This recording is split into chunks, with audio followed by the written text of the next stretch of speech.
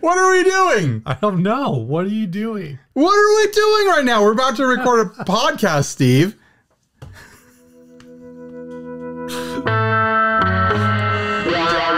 This is going to be the one.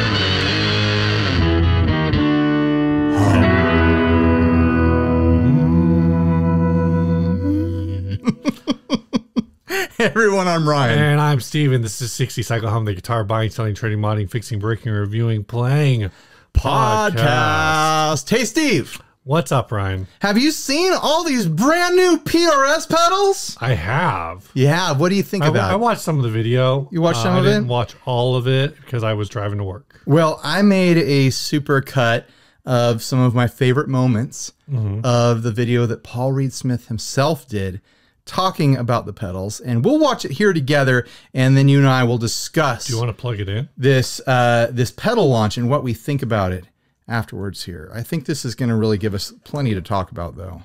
It's a couple minutes long, but it's worth it. Stick around, guys. Here we go. We're getting in the pedal business. Three pedals. These are professional pieces of audio gear. So we're in the pedal business, and here we go. There's a sound that happens during a storm with the wind going through the trees, and it always reminded me of flangers. So that's where the name came from. Two flangers in here. One, two. See, the name is They're great. gonna fight It each is. other. They're It's gonna play name. with each other, and it's just good fun. Now, for me, uh, there's so many sounds in here. This is a professional piece of audio gear. I showed this to a rock star once. He says, "That's not a pedal. That's how good this is. That's a professional piece of audio gear." And um, I, this is going to be so much fun to use in this studio. Don't touch my pedal. That's the whole idea. We want the pedal to make the pedal board and not be taken off. This we want this one to make the pedal board and stay. You can't even hear them on. When we got the first prototype, we weren't even sure it was on. That really helps to have a feedback loop between your eyes. In a blindfold test, I wouldn't even know it was on. Had a bunch of mine use any of them. I didn't like them. Turn the compressor off and use the output knob as a boost pedal. And if I turn it up a little more, oh no. Like, oh my God, it's a boost pedal. It's just good fun. This is horse meat. And I I, love want to tell a story about it. It's an in the name. container in, in front of the where the strings are, you know, in the was a Klon Centaur. And I, I was like, what's the big deal? And I plugged into this thing and it sounded really good. Ah, that's what the big deal is. I like this thing. And there were things about it that I wanted to change. And I worked on a circuit from scratch, not looking at that circuit, but what did we want this thing to do? While I was really impressed with the Klon, I wanted the pedal to do things that I wasn't getting out of it. And so the joke became, well, it was horse meat. Um, it ate Get it? Klon Centaurs for breakfast. From scratch, completely from scratch design, that original pedal changed our industry in a good way. I mean, they're, they're holy grails, really. Tim Pierce stepped on the, the horse meat and everybody started screaming. I think that was the day we decided to go into the pedal business when he stepped on that horse meat. It's not a clone. It's from scratch. I think it's really cool. There are holy grails in our industry. Anyway, horse meat. I was plugged into a tuner pedal, which is a buffer. Look, in my world, I see people buy pedals, but there's only eight, nine pedals, or seven pedals, or 10 pedals on their board, and there's 200 at home, or 100 at home, or 50 at home, something like that. I want these to be good enough that they make the pedal board and they stay. I like that we've given them names that are fun. I like that they work. I like that I want to use them in the studio. I like that they're good pieces of uh, guitar gear. Look, PRS likes making really good pieces of gear that people can use. So we're in the pedal business, and here we go. Give it a try. I'm happy about it. I think it's really cool. This studio had a lot to do with us getting into the pedal business, but they were intended to be used live. Use them in your band, you know. Should be fun. You should enjoy hitting the button. Uh, anyway, That was a little bit longer than it probably needed to be, but I got a huge kick two out of it. I feel like my hot take is that this launch was really weird. Did it feel weird to you? Uh, well, when you supercut it like that. it Well, not just that. I'm not talking about this video. I'm talking about the launch itself. Like PRS, for the first time ever, is launching pedals. Mm-hmm. Like they just barely got into the amp game a few years ago. right. You know, apparently the amps are supposed to be pretty good. I haven't tried one. I heard I, I heard on the effects loop they were talking about the amps and they said the biggest problem with the amps is that they don't have great distribution. So like, where can you try one? You like though I've seen them in I'm pretty sure I've seen them in Guitar Center. Okay. Um, but yeah, they said that like it's like sometimes Guitar Center has it, sometimes they don't. And then sometimes a place like they've gone places where like they'll have a PRS amp and it'll be used and it'll be like dirt cheap because no one No one knows how much it's supposed to be. Right, right. But like they're just finally getting into pedals. And mm-hmm. I'm almost like positive I've heard like interviews with Paul where he said in the past that he doesn't like or use pedals. so that side of it is a little bit weird to me. Like maybe I misremember that. But then like starting a pedal line, your first forte into pedal manufacturing, a really honestly like pretty bold and cool, I think, flanger. Like mm-hmm. it's got a lot going on. Like it's not just, it's not just like, oh, let's put out, you know, like a standard flanger and here's our flanger. It's like, no, they they they're giving you a lot to work with there. Are there that many people who want to get intense into a flanger pedal though and have a flanger Right. that takes up it's big. It looks like it takes up like three normal pedal spaces or something like that. Like that's how much space I, would heard that dedicate to a you- spring reverb. I heard that if you watched other videos, it all of those are like they look a lot smaller compared to like other pedals. Oh, okay. So it makes Like- more sense when you see them side by yeah, side or like something. I don't think they're full. I think the the flanger might be uh, the full 1590 box. It's a big boy. Um, You think it's that small? no, No, I don't think so either. But then but I'm not sure. I don't think it's a lot bigger than that. you've got the flanger, which has got a lot going on. Then you have a two knob compressor, which is like, all, all right. There are so many compressor pedals on the market that give you Ryan, so much more control. But there's a ton of optical compressors on the market. I just demoed a Walrus compressor that's Oh, yeah, the optical. Mira, the it's Mira. it's incredibly common. But is it based on an LA2A? I don't know. I bet a bunch of pedals are based on LA2As.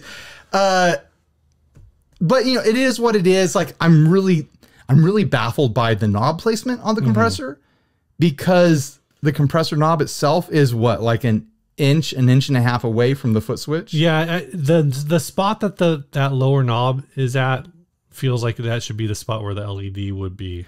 Well, there is an LED there. I know L- well, there's an LED above it. there's two LEDs on it. Yeah, like I, you know, I cut up the video a lot. Paul spent a lot of time talking about how there's two LEDs on the Oh, okay. because one of them pulses with the compression. Right. And it's like that is a it, it's always funny to me the difference between manufacturer videos Mm-hmm. for products versus like third party demos like what what I do. Right. Or like you know, like I didn't spend any time talking about the LED indicator flashing on the Walrus compressor that I got because Mm-hmm. that's a pretty standard feature. But when you're the manufacturer, it's like, can you believe it? Mm-hmm. The light flashes with your playing, guys. It's incredible. Like a manufacturer is going to like lean into every feature like it's revolutionary. Right. Uh, where third party demo channels are more like, let's get to the thing that makes this different, or let's get into Let's you know, turn the features that matter. Let's turn, Turn some knob. knobs. And then there's an overdrive pedal, a distortion pedal, whatever you want to call it, that he he really strongly hints like this is clonish, But it, also that it's an original circuit. but it's a completely original circuit, but also wink wink wink, it's it's clonish. Like But also it's horse meat. It's that's do you get the joke, Steve? I love that name. No, but like Every play, like I, I still think if I love the name too. I think it's a cool. I I think, think- it's a really fun, I think the funny biggest name. problem with the name is that it's a PRS, Yeah, and like you think of PRS, you don't think of like a name like that uh, that implies like a level of violence towards animals. Well, it could imply a bunch of different things. It could either imply, like, yeah, this is the meat of the horse. We ground up a horse. Yeah. Uh, I was wondering if there it was like an old like saying or something for something that's been reworked Mm. a bunch of times into becoming its own thing. The other side of it, and I've seen, you know, the pockets of the internet where I like to hang out, where the trolls live, apply a bit of a sexual connotation to it. Oh my gosh. That's terrible. but like i get sin- i get a sincere wave of joy rushing through my body when i watch that clip of paul talking about it and i can tell that he thinks the name is hilarious and i think the name is hilarious too and i love that he loves it I, I think it's just supposed to be like a centaur reference, and centaur is half man, half horse. Right. So it's like just like oh, we're turning the horse, we're like grinding up that centaur. Right. This is what comes out. Um, but the thing that um, I, I, the it- thing that people keep saying is like, oh, horse meat, like, oh yeah, it's that means it's mediocre, just like the spell. I'm like, I don't know, guys. I heard that Jack in the Box's best era was the horse meat era. no it it's a kangaroo era Oh, is it was it Taco Bell who was doing horse meat? i don't know i think that like, might have some- been urban legend but Can- like, some- jack in the box was, definitely, definitely- doing kangaroo meat Wasn't it kangaroo meat from Canada too? It's like really weird. weird that is weird Yeah. I learned the other day that someone released a pack of kangaroos near Yellowstone. That sounds like a terrible idea. Yeah, super bad idea. It's like a game hunting thing or something Oh like my that. gosh. Why are we doing that?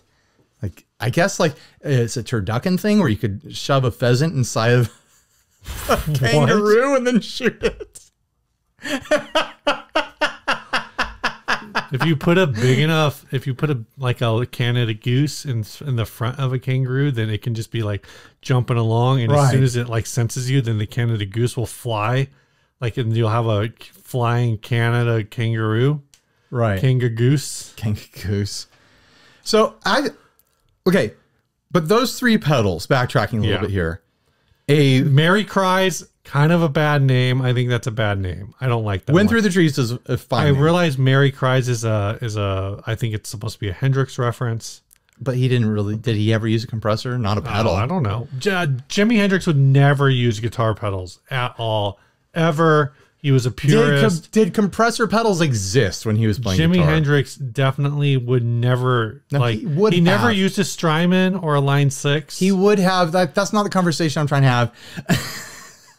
here's what here's what I'm saying. Like for companies first oh. launch into pedals, a flanger a comp- and a compressor are kind of weird for it being in the first three. Like the Yeah. drive, I get it. I I get think the drive. I think a compressor is like, ah, you let's do something different.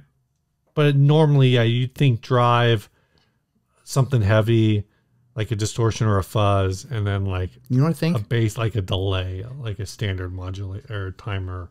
yeah, I think I think drive, fuzz, and then some sort of time based. Yeah, Uh, you know what they could have? They could have done drive and fuzz flanger is time based, Ryan. I know. And done uh they could have done the flanger still because it's cool. But I think the compressor is a little bit baffling to me. What they should have done though, they should have done a fuzz and then they should have combined the horse meat and the compressor into a two in one.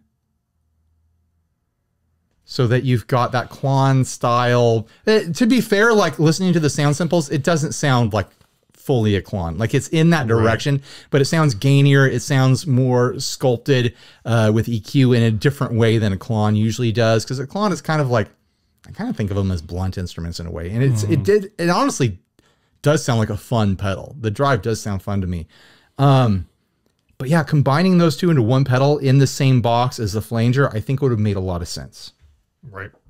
It would have filled. It would have. It would have. There are two things that I think would work re- really well with each other, and maybe you could change the order, like one before the other. Then you're really just adding two knobs with the compressor. I think that makes sense.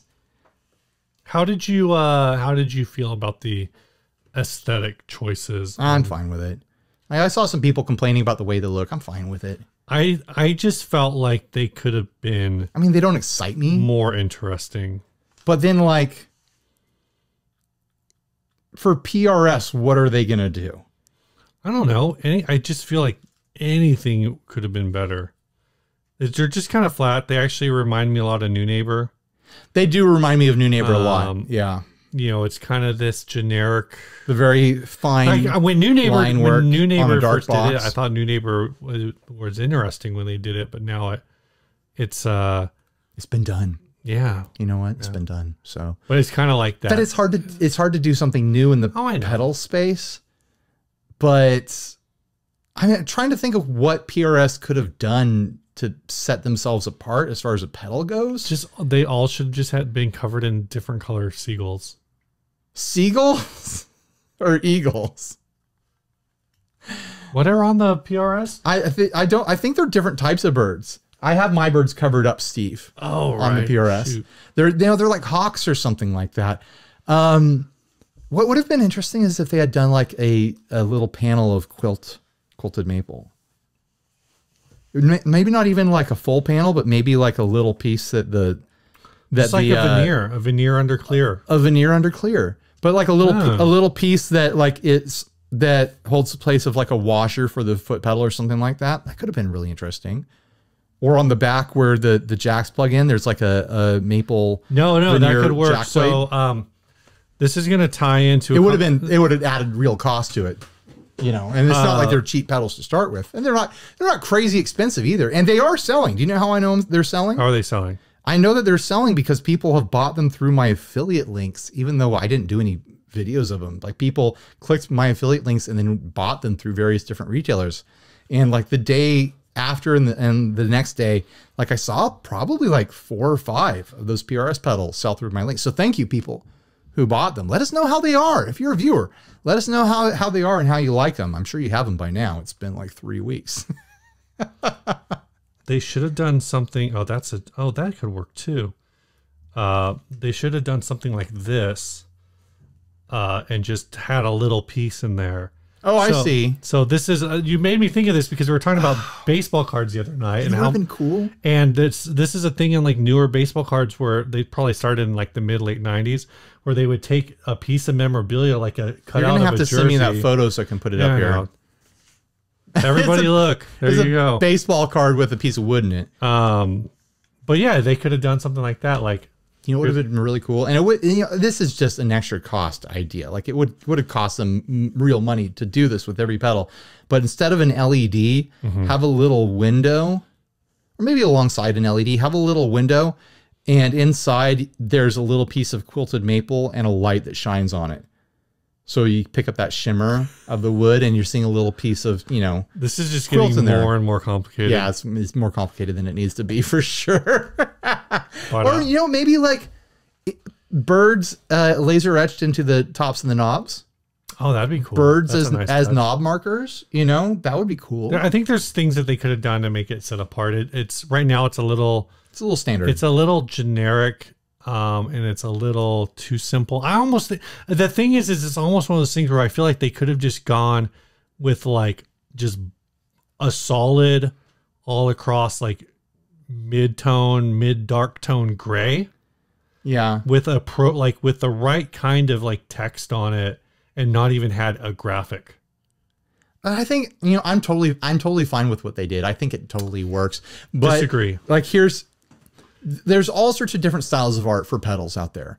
There's the kind of like indie punk zine kind of look, like hand mm-hmm. screen printed, like you know whatever goes, you know like you know whatever you want to do for the graphics, go Yeah, crazy, make it obscene if you want. There's that whole side. There's like the industrial design side, which is like your bosses and like your mm-hmm. DoDs and stuff like that. It's like here is a manufactured product that serves a purpose. This could be a foot switch for a forklift for all we know, sort of thing. and then there's like the kind of like arty, clean lines, like tech bro side of like pedal design. And I think these kind of hit that tech bro kind of like, oh, we want this to look kind of like, you know, minimalist furniture sort of oh, thing. oh no okay i got it this is what they should have done they've already got it. They should have just printed their like the PRS guitars logo Uh-huh. over the entire face of it. It'd give it that like white pedal, and it just says PRS silk screen across the top. Um, just give it like some big like streetwear vibes. I feel like that would have big streetwear vibes. Or you know, like would, would have been fun. Like PRS cr- X Supreme. the PRS logo is Paul's signature. What if it like each pedal was just the the text for it was his was his handwriting, like fuzz mm. written out in in Well, Paul's except there's not a fuzz pedal. So But like, let's talk. I want to talk some more about kind of the weirdness of that video from Paul and kind of the weird well, vibes weird that I got. because you cut it up. I know, but before I cut it up, it had like a weird vibe. Like he kept trying to mention like and like imply like these aren't just lowly pedals. These are studio Right. appropriate. Like is that weird? Like is that a weird stance to take? Is that like it almost feels kind of insulting to all other pedals where it's like, hmm. oh, you know pedals. They're not really for the studio, if you know what I mean. These pedals are for the studio. like like a manufacturer has to like push their product and have to like have their own idea of why their product is superior, but that feels weird to me. It's a weird way to enter the pedal market. No, I can. I think that makes sense, like with the compressor, because the compressor is based on a studio compressor. Right. Um, but certain, yeah, for the other ones, there's- it, it there's- does seem a little like, well, you know, people are using all sorts of, you know, the JHS color box is designed to be a studio effect. Like You can that's the primary like Right. idea. if you have it in your head though that pedals aren't studio tools across the board, like not appropriate for use in studio, like I was kind of getting that vibe like uh you know like pedals they're not really for the studio, but these ones are sort of thing like I don't really understand where that's coming from. But also, we want this on your board, and it's never going to come Right. off. Well, that's also an interesting thing to talk about. Like, I think that's, I almost, I admire that goal. And I don't think I've ever heard a pedal manufacturer vocalize that before of like, our goal is to be the pedal that you stop with. Like, you're not going to replace this. This is going to be the pedal that you keep on your board forever. And it's an extremely lofty goal. It's a little bit weird though, because it kind of like, makes me think that Paul doesn't understand pedal culture at all. Well, even even within pedal culture, I think there are certain pedals that like just don't leave your board. Sure, You know, like the it's like- tuner. he should have come out with a tuner. I'm just saying, like, there's there's plenty, there's lots of people out there who they change everything on their board all the time, but they still have their like, Yeah. you know, 1989 Proco Rat 2, Sure, sure. and the you know they never pull that thing off. Or it's like, oh, I finally fe- feel like I got to pull this thing off because it's getting a little too beat up. And uh, man, it's, it's uh, everything else I've tried like is 90 like 90% of the way there, but it feels like such a downgrade. It's like there's pedals right. there's pedals out, you know, that's how I people talk about the King of Tone that way. People talk about the Timmy that way. Yeah. I mean, Uh, that's you how I feel about, you know, my 50-50 drive and things Yeah. like that. You know, there's certain pedals that Yeah. very, very the- rarely get swapped the, off my board. The 50-50 could be a pedal that could be a daily driver for a forever pedal on people's boards if only there were more in circulation. I know. I'm working towards the goal of having more time to get stuff like that done. I, I had my thing that I talked about last week or the week yeah. bore. Was like I'm trying to decrease how much work that I'm going to be doing And in that's the the future. that you could do if you mm. had less work. if I had more time, then I would be able to, you know, tackle that sort of thing. I still might push it on her. I slow rolled to my kid. Hey, have you ever designed a guitar pedal?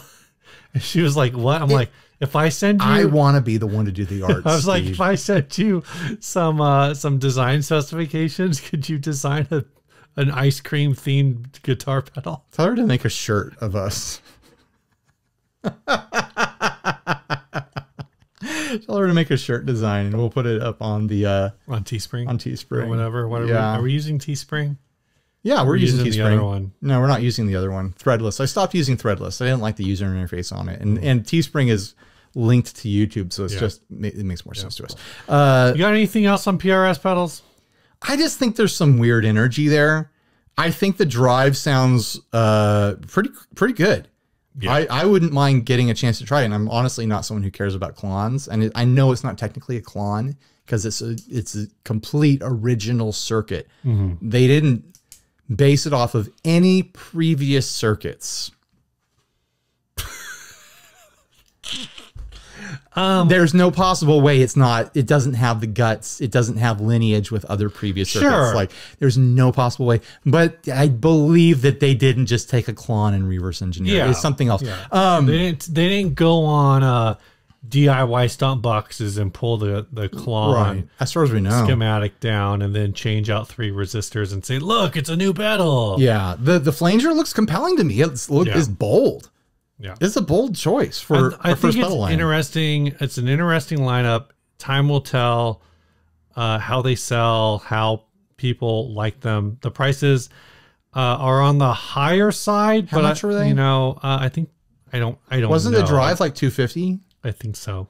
If I'm wrong about that, I'm wrong. But I thought the drive was like 250. Is that which like- reasonable? I don't know. That's like normal boutique prices these days, and it's got a bunch of knobs on there. The the, the knob to dollar The dollar ratio, per- yeah. I think is probably fine. The flanger probably has a pretty good knob to to dollar ratio. The compressor, I maybe it's maybe there's something about it that I don't understand that makes it better than all other compressors, but I.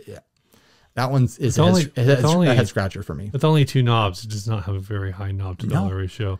and Uh, bad bad placement on the knobs. Like I, I'm not gonna like tiptoe around that. It's bad placement. Yeah, I think you know you kind of mentioned like product re- product releases and like um you talking about that, and I think that is a thing with this one. I I thought it was really cool. I I kind of feel like it it's a testimony to the company's belief in this product that Paul did the release. Now I don't know who else they would have had do it because I don't really follow PRS. I don't know if they would have brought someone out in to do it, but I also think that's like part of you know what made the whole thing uh, a little off kilter. Is you know no everyone has a preconceived notion of who Paul is, Right. and and uh, so no one really knew what to expect. And when at the end of the day, it's like ah, it seems like there was probably a, a loose script, you know, bullet point outline of points to hit. He and just, he hit them all and it was a little awkward. And probably if he does if they release over the course of the next three or four years uh you know uh three pedals three new pedals a year. And so in four years they've got right. 12 pedals. Like probably by that fourth release he's going to be really good at this It just felt like a a strange energy where like a couple times in the video without me even editing it down to be silly. Um he's just like, "Well, we're in the we're in the pedal business now." And it just he seemed like weirdly deflated. You know? Like I maybe I'm reading into his personality because I've seen him be excited about things. Like back in the day, like I was following him on Periscope, and he would he would go around and like go through piles of wood and like look at this wood. Oh my gosh, look at this! And I've seen him be animated. I we like me and Blake interviewed Yeah. him. Yeah. I've seen him be excited and animated and interested in what he's talking about before, and it just it it didn't feel like he's into this. And maybe that's me reading something that isn't there. well i think it's also like you're talking about periscope periscope is I know, no. is that you know it's a years li- ago. it's a live but it's a live thing like sure, and and like- live is a yeah. very different energy than like a pre-record. You Yeah. know? Oh, we're in the pedal business now. That was that could have been the 40th time he said it that day, and he's probably just like tired of it. Here's But it's finally the one cut where he didn't like say we're in the business now. so they're like, well, I guess we're gonna take it. right. He, he might have been pissed at the process of making a video, which You know, I we- completely we understand. We don't, we don't know. I'm just saying from the perspective of like making a video, we know that it's hard. Yeah. And so I want to at least give them some of the credit. I don't follow their their YouTube particularly close, so I don't know how often he is doing Sure. stuff. And regardless, this is a new product. They've never launched a pedal before. Yeah, They're in the pedal business now. they're in the they're in the pedal business. So now, this I is so it's a new thing. So I so I just you know I want to extend that that grace of, Of this course. is a new territory and it's probably mean, a lot of nerves. I want to make it very clear. Like I think I think the pedals sound good. I don't I don't see anything. I didn't hear anything about the pedals where I was like, oh no, that's too bad. Like they all sound good. They all sound fine. I mean, like sometimes you can't even tell they're on. They sound so good. oh my god. These aren't pedals. A rock star said that. Yeah. Uh, but If you want, okay, go ahead. Make your last point. I'm done. a fantasy I've had in my head. This Gross. is getting saucy. Uh, a fantasy I've had in my head that, like, how I would have enjoyed seeing these pedals launched is because I, I, I vaguely remember Paul saying in interviews years past that like he doesn't really care about pedals at all. I kind of wish they had brought in a new personality to be the face of PRS pedals. Mm-hmm.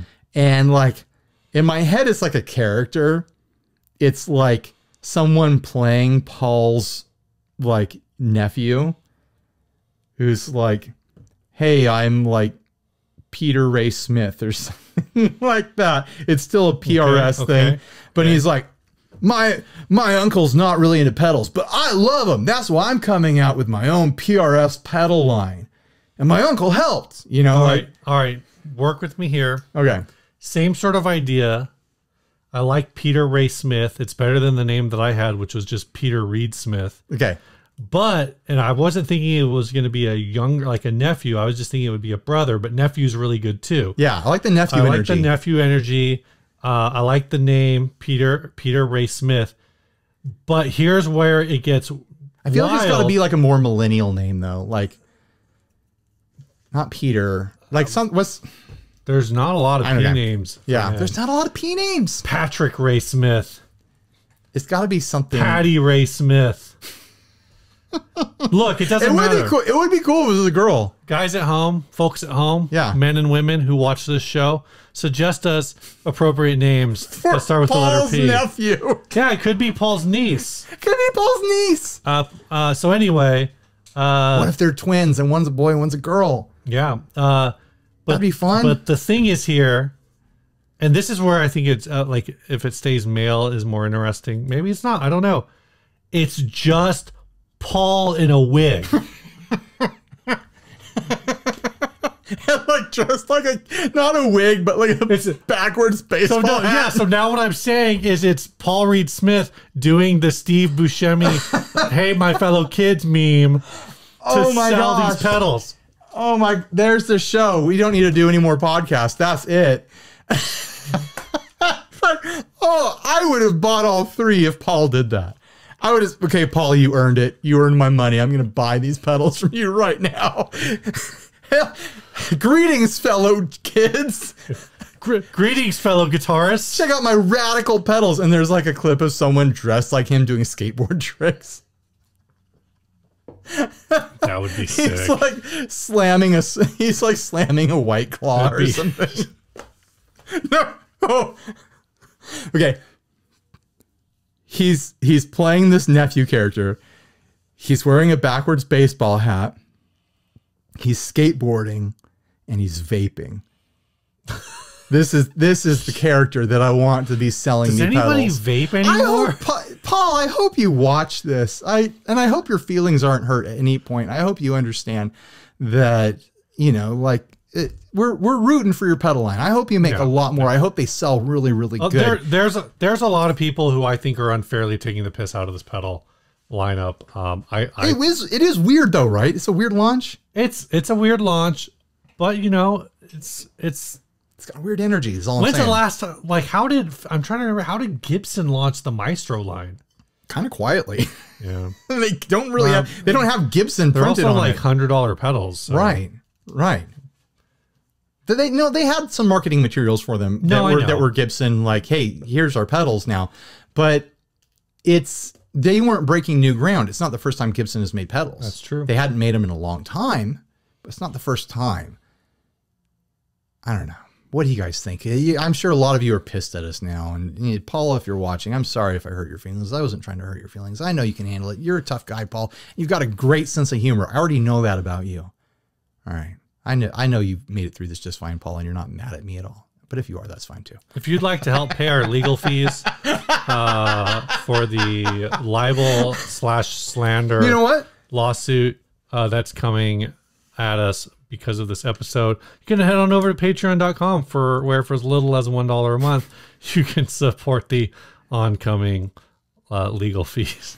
You know what? If if they go after us over this no one's video, going to go after us. if they do video. though, if they do, I'm gonna go straight to the local like local news sleuth of the guitar YouTube world. I'm gonna take it straight to KDH, and he's gonna Oh take care of it for us. Like the Turco Files. Y- Yes, local TV. Most of you don't know what I'm talking about, but he's the Turco Files. the guitar YouTube. Um, I can't believe I'm suggesting going to. KDH or something. where A lot of people like him. Is whatever. He had a rough start, in my opinion, but you know he he exists. like Now these, he's definitely going to target us. like these fine folks did uh, at the one dollar level, uh, Kenneth K, and at the ten dollar level, which is the inner circle level, Shane. It's just Shane. His name is Shane. He's Thanks, already in the inner circle. He reached out to me. He actually did the. He did it very quickly. He he signed up. He reached out to me. He did it so fast that I was like, "Why do I have a friend request from this rando Shane?" Because I hadn't seen the Patreon email. That's how fast he was. That's the way you do That's it. really quick. Uh, so head on over to patreon.com slash 60 cycle humcast. He was so fast. Steve didn't know what was going on. and Steve always knows out. what's going on. Uh, Ryan, I got a question for you. I'm ready to answer it. What do you think Paul Reed Smith eats for breakfast? Um, what does Paul Reed Smith eat for breakfast? Yeah, I bet he he goes a little bit spicy. I bet he goes for like chorizo and eggs. I haven't had chorizo in a long time. You should, Steve. Treat yourself. Get yourself some chorizo. We've got a guitar here sent to us by uh, Greg Straub, and it is a breakfast guitar. Custom guitar made to order. Ask Kevin for more info. Guys, ask Kevin. Come on, Kevin knows. I wish that sign wasn't in front of, you know, part of the business end of this guitar here, but I'm sure there's nothing. this is uh, an English breakfast, right? I'm seeing the beans. Yeah. I am seeing sausage, blood sausage, some sort of. I'm assuming ham. It's like ketchup. Is There that, is- is that ham? there is yeah, I guess that ketchup. ham. There's a fried egg, and that's toast, right? And then what are the round things for the knobs? Oh, meatballs. They kind of look mushroomy, but is that a thing? I don't know. I don't British know. people, tell us what those knobs are. I think there's supposed to be a tomato. Well, there is tomato in the beans. Yeah. And the beans, are they painted on or are they 3D? Everything looks kind of 3D. I think they're 3D. I think this I mean, thing. some of it's definitely 3D. I you know I have to say I'm kind of impressed.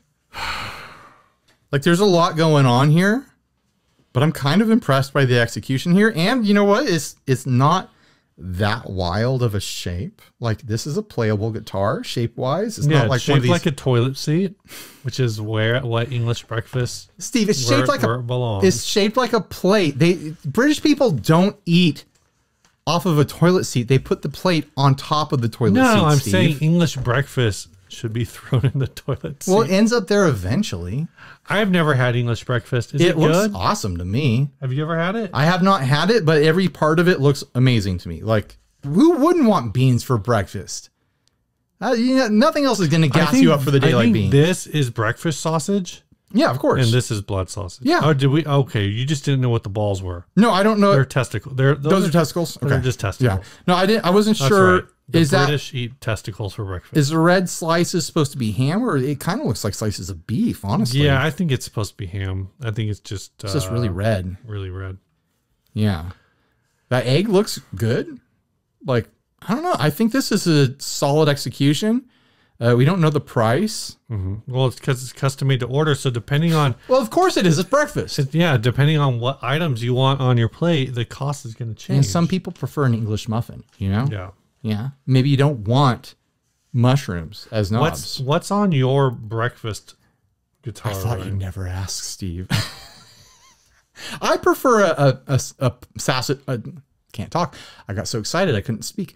I prefer a sausage patty sausage patty. to a link for breakfast. Um, I would probably go with like hash browns over toast, Mm-hmm. or like home fries if I'm, I'm, I'm going to go for a starch. Mhm. Uh, all the meat, the ham, the blood sausage, I'm just down. I'm just down. And, and if I'm getting an egg from a restaurant, I'm going to go scrambled. Really? Yeah, I, I'll fry eggs at home, but it's mostly like a convenience thing because I don't have to dirty up a bowl to scramble it, you know? But I, I prefer scrambled eggs. Oh, I just do the like the shady scramble in the pan. Nah, I don't like that. Just like dump it in there. Go, I'm- "Bap, bap, bap, bap, bap, bap, bap, I'm weirdly particular about my scrambled eggs. I don't add anything to it. I just go. And uh, I wouldn't have ketchup on there. I'd have hot sauce Yeah. or something, you know, Yeah. or fresh jalapenos, Ooh. please. Oh. Yeah. Bacon would be nice too, like real bacon. None of, the, none of this ham. I mean, ham is great. I- You know what? I just want a plate full of meat. Just give me all the meats. What about may- you, Steve? You may have heard me say that I want a lot of bacon and Okay, eggs. all right, all right. I haven't even seen that show, and I know the quote. um, my go-to breakfast. I cook breakfast on days that I don't come down uh, to to the city. You're gonna start referring to San Diego as the city, Mm-hmm.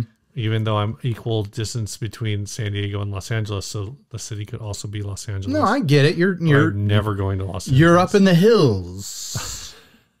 yeah, something like that. um, when you come down to be around a city folk, Yeah. a city slickers. uh, hash browns for sure. Yeah, hash browns. Um, Oh, you know what? What about a biscuits and gravy guitar? Be a lot of white and gray. you could do brown gravy. Brown. Uh, you don't do brown gravy with biscuits. You, All right, I'm sorry I interrupted your breakfast guitar. Uh, hash browns for sure. Yeah. I do hash browns. Um, I do uh, one or two eggs, depending. I usually just kind of do it all in the same pan. So I do hash browns and then I push them over to the side and I just drop the eggs in there. So they're like semi fried. Um, and then sometimes I do meat and sometimes I don't. When I do, uh, if I have any kind of like leftover carnitas or whatever, I'll just throw that in there. Mix that all up. You got yourself a soup. and you want I to mean, a breakfast. you want to see that all on a on a guitar? Yeah. All right. Hash browns, uh, two eggs. I'll do two eggs. And uh, just, uh, yeah. That guy that does resin guitars with and things, hot sauce. I with things sauce. floating in, in them, has he done a bacon guitar yet? I feel like that's like he hasn't done anything in a while, has he? He was doing like a video a month Has he done anything that was like cooked food or like perishable but I feel like food? like if you did it if you did a bacon guitar like that like the internet would love it. Well, maybe the internet circa like 2008. yeah, I think we are post bacon now. Are we in a post bacon internet? Yeah. That's that's a sad thought. Well, it's one of those things where I think the bacon has a has a just become part of us now. yes, it's just like it's standard. Like we know that the bacon is there at all times. But Bacon um, doesn't need the press. I think it would look really cool. And bacon is a sort of thing where because you can cook all the water out of it and all that's left is the the meat and Yeah. the fat, I think that would preserve really well in resin. And if you made a block of it of bacon resin, you could cut that down and, and have a really cool looking bacon guitar. How much bacon? Like how much bacon versus you? Would you just like make the entire body like it'd be pounds and pounds of bacon? It'd be a lot of bacon. Okay, Yeah, it would be a lot of bacon, Steve. gotcha. But I'm imagining that they're more kind of like floating in there as cooked, already cooked pieces. Mm-hmm. So there's like a depth to it. So it doesn't have to be like full bacon saturation, you know? Bacon Baconeration. Right. All right. Let's move on to the next thing. We're running late on this All right. episode. Uh, this episode is brought to you by Stringjoy. Yes, crafted in Nashville, Tennessee. Played on stages worldwide. Stringjoy strings are crafted one at a time by Nashville musicians who know that great art is made with great tools. It's their mission to make strings that inspire you to play more, play better, and play more like you. And Steve didn't just read Play that your off. way. Steven di- didn't just read that off the back of the packaging. He has it memorized. Stringjoy.com. I will say really quick, I just did a video on the new Fender American Vintage 2 Jazzmaster. It's hanging behind my head there. Mm-hmm. It came with nines on it, then before I filmed it, I was like, no, no, no, no, no. This will not do. This is too thin and jangly and stretchy and bendy. And this doesn't feel like a Jazzmaster to me. So I put a set of Stringjoy 11 to 50s on there and it turned it into a Jazzmaster. I was like, finally, this feels like a Jazzmaster. Now I can film it. So thank you, Stringjoy, for making my Jazzmaster feel like a Jazzmaster. This episode's also brought to you by Demonic Machines. You don't have to drop them, but you can if you want. This is the uh, Demonic Machines. How do you pronounce this again? Uh, Alborith? Uh, the Alboragathith. Alboragathith. Something like that. I don't, I don't, I don't remember the name. It's got a complicated We can't long name. pronounce it, It's the but it's a name really of cool it's the name of a demon, and if you say the name correctly, then the demon shows up. And so I very intentionally don't say it Oh, okay. correctly, and I hope you don't, Steve, because this demon, when it shows up, it makes you choke on fish bones. But then also the way to make it go away is to like eat fish. Well, yeah, you could eat, eat the rest of the fish, and then the bones go away. I mean, it makes total sense. Yeah. I mean, that's de- that's normal demon. What kind of stuff. pedal is this? Ah, it's a dirty, fuzzy, gainy, distortiony, crazy sort of thing. Go watch my video if you want to find out. Yep, and head on over to demonicmachines.com. You know why? Because tone's not in your fingers. It's It's in, in the, the signal. signal. Everyone knows that. everyone knows that. Just stop joking around. Stop being so silly, guys, with tone in the fingers. Yeah, right. I don't hear anything. You hear anything? Hey Ryan, hear anything? hey Ryan, what's new? Nothing. Oh, I sold the SG. Is that all you got to say about that? Well, I I need to I need to like fix my stuff with eBay so I can get the money out so that I can donate what I said I was going to donate to charity. My money's all hung up in eBay right now, so when that when I get that out, I'm going to donate. I should just donate it first, anyways. I'll get the money out eventually. I it, I'm kind of sad to see the SG go because it was a Did you already ship it? I already shipped it. It's gone. Um, it was the guitar that I used the most on the early, early version of this channel, the early, early videos. Yeah. But the reality is that I haven't played it regularly in probably four or five years. I just, it's not in regular rotation for me. So it's just like, I need to make room around here. It's, it's time to start selling sacred cows. So it kind of like broke the seal for me. And there might be more stuff that I'm selling here in the near future. I know I'm listing a bunch of pedals. Actually, by the time this airs, hopefully I will have published a bunch of pedals on Reverb. I did something fun, Steve. Uh, uh, our, our friend Robert gave me this idea because I was bitching about how I don't have time to do anything and I have all these pedals I need to sell. He was like, well, have Lauren list them. I was like, that's kind of a wild idea. So I pitched it to Lauren. I was like, hey, do you want to take photos of all these pedals and then list them on Reverb for me if I sign you in from your computer? And she's like, can I write my own descriptions and take the photos any way I want? I was like, absolutely. So mm, she wrote, she wrote all the descriptions. She has no idea what anything does. She just like looked at it and was like, this is a fun looking pedal. Like, oh, this looks boring. I don't know what this does, but I want it out of my house. so it's going to be a lot of fun for everyone that probably already saw that go down on the internet, going through all those listings just to read what my wife wrote and look at all the pictures. It's it's it's. I'm really excited. There's like 30 pedals that we're listing. Hopefully, I have enough Wow. have enough bags to ship them all. Just uh, just order some more from USPS. I know, but it takes some weeks to get here sometimes. It- Last time I requested bags, I got them in like five to seven days. Okay, okay, I'll do it tonight. I'll Also, the last time bags. I requested bags for you, they arrived in five to seven days. yeah, you did it from your office though. You probably have a special office account. No, I did it from my house. What? But I had ordered the bags like before you ordered them. Okay, whatever. I don't know, man. Whatever. You have a special magic account, is what I'm saying. All right, do you have anything? do you have anything new? I don't. I don't. I'm wearing this sick Flatwoods Monster Festival shirt, and so are you. I'm wearing a Flatwoods shirt too. This one's got Japanese written all over it. I love this shirt. That's it. Super cool. That's all I got. Everyone go visit the Flatwoods Monster Museum if you happen to be where it is. Where is it? West Virginia. West Virginia. Flatwoods Monster, Yeah. West Virginia. Two things it's famous for Flatwoods Monster and uh, John Denver not actually being from there. All right. uh, this next ad was sent by Screen Drag, sent by Nick Smith. Uh, it is a Oh, yeah, this thing. Fender with nylons. This is a new guitar with some finish blemishes. Fender player strat with Graphtec Acousti-Phonic saddle pickups slash preamp rear battery access. Smooth fret ends, nut file to fit nylon strings.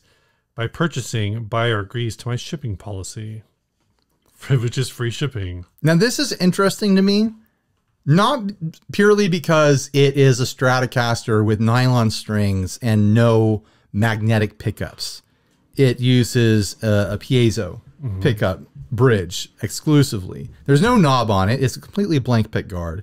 It's interesting because Fender did make a guitar like this, but I don't. This is a parts build, right? This Yeah, is not. this is a parts build. This is not an official version of this style build. This is a 2021 Fender Player Stratocaster. This is like someone building their own Acoustasonic, Kind of. but starting out with a regular Strat and like making modifications to it. But honestly, like it's such a clean execution that I had to look at photos to figure out if it was Right. The real deal. But like looking at the wiring and the parts inside and stuff like that is like that's not Fender. That Fender doesn't use parts like that. Like and when I saw that the Fender version is like an MIJ that, you know, is a Malmsteen guitar Yeah. with uh, you know, scallop neck and stuff the- like that. From 30 years ago. yeah, I'm like, okay, yeah, there's some there's something off here. So someone tried to reproduce that within with a made in Mexico Yeah. strat. And they honestly it It looks great. Looks they got, really they clean. hit the color. This is that uh I think the color is technically vintage white. it looks like banana cream pie yellow to me. I'm pretty sure it's vintage white. All right. Steve says vintage, vintage white. Vintage white in certain light.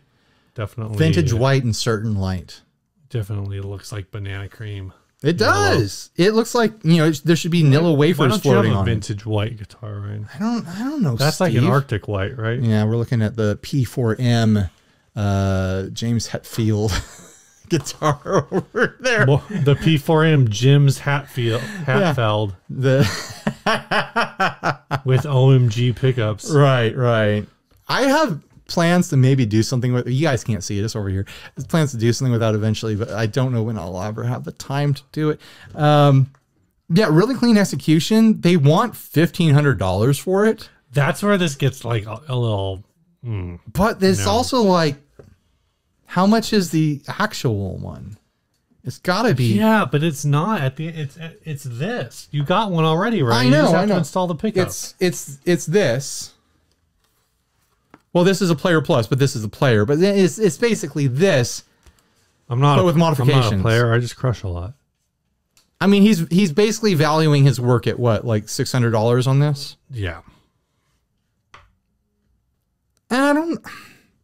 If you paid someone to do that for you, it might end up costing that much. No. I guess it depends on where you go. I think I don't know how much the parts are, so that's that's uh. Let's see. Also, like you're losing a lot of parts in this transaction. You're getting less parts than the guitar started out with. Maybe he'll include the original pick guard and stuff. I kind of, I guess it's not really possible with the nylon strings, but I kind of wish it still had the pickups in there. So the Ghost guitar kit on StewMac, uh, oh, that's just the preamp. How much is the full kit? Shopping, shopping. It looks like the full kit is seventy five dollars. Um, oh, that's just the preamp. The full kit's hundred and forty dollars. All right. So I mean, I guess. But maybe- that's cheaper than a pickup swap, like a regular pickup swap. If you're getting good pickups, it's like that's a lateral move as far as the value of this goes because he pulled pickups and switches and pots out of this and put n- like a whole new system in it. You know, I think the here's the thing like a lot of this work is really clean. Like he used a drill press. We see a photo of the drill press, but like the the the back route for the for the battery cavity and stuff like that, it's really clean work. Like it looks professional. So I don't know. I maybe I don't understand the market for this sort of modification. To me, it feels high, but I also feel like twelve hundred would be reasonable. Maybe it is more because it looks like uh, you need it. You this has everything, including the controls for 140, but then you also have to buy the, bridge. pre-wired bridge. which is another hundred and sixteen dollars. Which that's also why you have the picture of the drill press. That's why because they're taking Right, right. the original fender bridge and they're adding uh, wire holes for the uh, ghost system. Still, like, is do you think he's making a business out of make doing these, or do you think this is just a one off? Oh no, I, I think this is just a one-off. I th- I think this is a situation where you can't charge for labor. You're just charging for parts, and even that's a little bit. You're you're you're buying a a, a curiosity. Right. Like this is you know you've got to find the exact right buyer for this because this is not a strat everyone wants. I mean, I love the The, idea the price is the, of hitting the wiggle stick on a nylon guitar. the price is up there at fifteen hundred. I think I think if you find the right buyer, excuse me, you're right. Twelve hundred seems maybe doable, but it's definitely up there. Yeah. You got anything else? No, let's talk about the uh, the next one. Let's sponsors. talk about Chase Bliss Audio. They make this one, the Thermae. Thermae. I think this is my favorite Chase Bliss delay. Yeah. It gives you, at its core, a really solid, totally usable, totally normal sounding delay. Mm-hmm. And then you can just get crazy with those interval knobs. Mm. You can do a fourth, a fifth, an octave, a double octave, a triple quadruple. You know, it can keep going and going octaves up and down, two different directions, and you can have each repeat get modified by this interval modification on the Thermae, and it ends up giving you these wild, wonderful, beautiful, sometimes cartoonish, sometimes ethereal sounds. And I think the Thermae is just such an excellent ex- execution of what Chase Bliss pedals can be. So go check that out. Uh, follow Chase Bliss on all their social media so you can stay up on all the wonderful things that they uh, build and sell. We got something else here. It's the shake That's right. This is Big Ear Pedals. pedal that Big Ear Pedals was making for a while. It's not a pedal, it's a shaker. Let's see PRS make one of those. you know what? Well, It's like you can't entered- even- We've entered the shaker business. You can't even hear it. You know, like it's like if you were blindfolded, you wouldn't even be able to tell it's on right now. Oh, but then you shake it. Now you can tell. It's got a little microphone in there and it's got the clippings of the ends of all the diodes and resistors in a little wooden box with a microphone attached to it. You plug this in to your pedal board or your amp. Now you've got an electronic shaker. You can also make all sorts of fun sounds like scraping your pick on the things on the knobs here, clicking it, transfers into the microphone. You can hit it. You can sing into it like it's a microphone. You can scrape. It's a cool product. They don't sell it right now. Maybe they'll sell it in the future. But the fact that Big Ear Pedals makes cool products like this is enough to inspire you to go give them a follow on all their social media and get on email lists and things like that. Check out the link in the description. So huge thanks to all our sponsors this episode for making this program that you enjoy so much possible. this last ad was sent by Greg. Thanks, It's Greg. Kay guitar K900. Oh, this is from Greg Alonso. Oh. A vintage Kay guitar K900G hollow body model from the 1960s. this is the sort of thing where I look at it. It's it's four hundred dollars. 400. Yeah. It's it's got a cool trim on it. It's got that Teisco style trim, Yep. but it's got it's like a long arm version of it. Mm-hmm. It's got those cool old like Gaia tone Teisco style pickups. It's got a mute on it. It's got like a take on like a Jazzmaster style bridge on it. It has sliders for the volume and the tone controls. It's got a gold pick guard. It's a cool body shape. It's got two different sets of tuning keys on it. I wish every part of my body wishes that this was a guitar that was worth playing. but I know in my heart You that don't it's think it is? probably not. sucks? I think it probably You sucks to play. trash?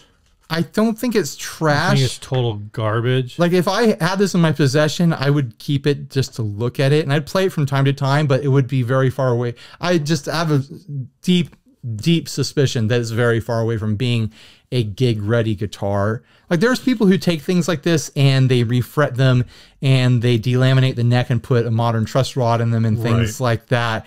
And they make them playable in a modern way. ah, man, if if that could happen with this guitar, then I I'm I'm into it. It breaks my heart when I look at these cool old funky import guitars, and it's like I If it- just if- I just know it's not going to be If this is local to you, um, zero fret. This is local to you, a what's, fake Gibson what's the price got to be for you to go check it out and find out if it's really that bad? If it was good, like if I knew that it was good, four hundred dollars, I'd be driving to go get it right But now. you don't. That's what I'm saying. I don't So think it's good. You don't think it's good, so you're not going to do I've 400. tried so many guitars from this era that with this style of build and these style of parts that I know now It'd that have to like, be like under 150 dollars. You're saying. Mm, At what? pro- At what? at one hundred and fifty dollars, I'd pro- I'd probably like I got to go check this thing that's out. what I'm 'cause it's got saying. cool At what? At what price do you say? Well, if the guitar sucks, I could parts harvest, or if the guitar sucks, it'll just be like a wall hanger. I could definitely parts harvest that trim and put it on my Guild Surfliner. People would be so mad. Why? Parts harvesting vintage guitars. No, just put a different trapeze Oh. tailpiece on there. Dare you, stir? I could put it back later. I love the little floral flourish on the pick That's, guard. that's really fun. Yeah, I love that it's like there was this era of import guitars and 60s guitars that were that had the truss adjustment at the at the heel like almost like shredder style where you could stick an Allen It's, key in there. it's funny because now like that's like the It's a signature high- high end high guitar, performance. like high performance thing. yeah. And for them it was just like, "Oh, let's put the bolt down here." Yeah. All right, tell us about the song and let's get out of here. Would you guys pay 400 for that? Would you drive across town to go check it out? I mean, it looks rad, right? no, it looks super cool. Yeah. And I know that there's, you know, companies like Pure Salem and, and Eastwood and stuff that kind of revitalize these I, sorts I of think looks. one of the things that like kind of keeps the price down on this is the fact that they're saying it's a K- the K uh, 900G or whatever, but there's no actual badges anywhere on the yeah. guitar. I also think it's really wild. First of all, the switch hardware looks unique. Like it- that ball end switch there is really cool. Mm-hmm. It goes from solo to bass and then rhythm. Like, how does that switch work? Work wouldn't wouldn't rhythm normally be the middle so, s- section and then bass would be the neck? Like if you're thinking about like Yeah, what frequencies you get, but then like on a Les Paul, it's either rhythm or lead, right? Uh, I think it Oh, I don't have says treble and I think Treble it's and- normally treble and rhythm or something. I can't remember now. But I, you know, it's it's funky, and the sliders and the switches say mic one and mic two. oh, that, I didn't notice that. There's a lot of funky little details to things like this that uh, I I wish I could know that it was a worthwhile guitar to own. You know. All right, tell us about the song, Steve. We've done this show long enough. It's a rhythm and trouble. Rhythm and Trouble. That's it. Uh, this was sent by Nelson. He says, Hey guys, I record some stuff from my bedroom when I have the time and I listen to your podcast and your demos and I like your content. Thank you. So if you could play my song in one of your podcasts, it would be really cool. Thanks. The artist name is Kundal One and One. Song name is Infiniti Plaza, and this is a song sent to us from Panama. Panama. Panama.